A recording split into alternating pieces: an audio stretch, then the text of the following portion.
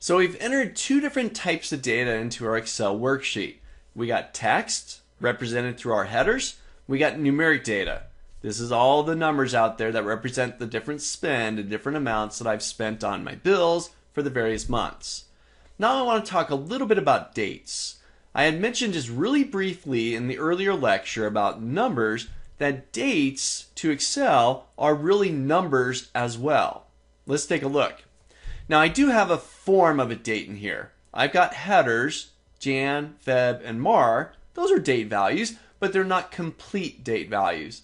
You know what? I wanted to say January 2016, February 2016, March 2016. This is really simple to do. All I'm going to do is click into one of these values, such as B4, which contains January. I'm going to double click. I want to edit that value. I'll double click. My cursor's now inside of that cell, B4, and I'm going to type in hyphen 2016. There we go. I'll hit my enter key. What do you think?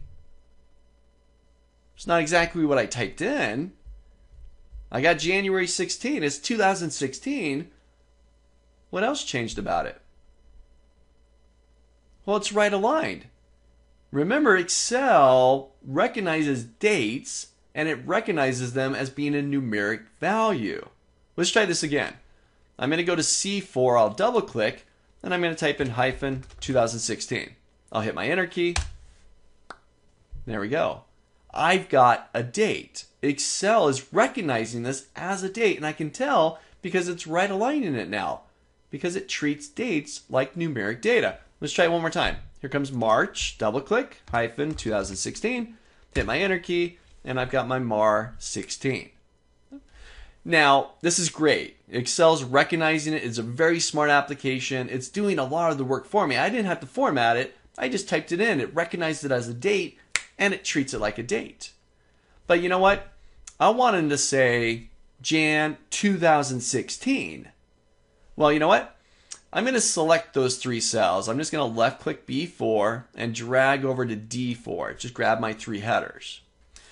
Now, remember, Excel's already done some of the work for us. It recognized it as a date and it's treating it as a date. But not exactly the way that I really want it to.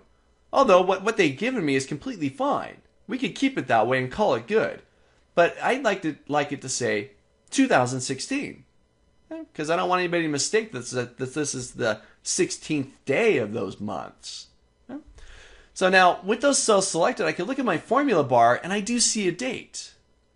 It's Excel is again recognized it as a date, but I'm going to format it a little bit differently.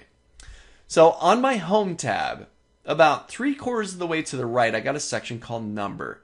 And I can see that it's customized the number format. I'm going to change it. I'll go to a little drop down here, and I'm going to go down to more number formats. This opens up my format cells window.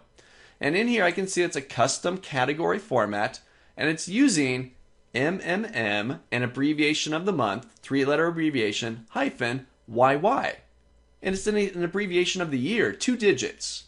Now, I like it to be a full fledged four digit year. So, all I'm going to do is hop up here where it says type and it gives me the example MMM hyphen YY.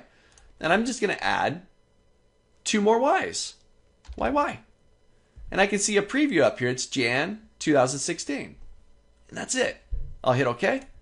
And I've now got my Jan 2016, February, and March 2016.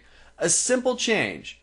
Although Excel did quite a bit of the work for us, already recognizing it as a date, formatting it as such, we just tweaked it a little bit, giving it a little bit more information. Four Y's rather than the two, getting the full year out of it.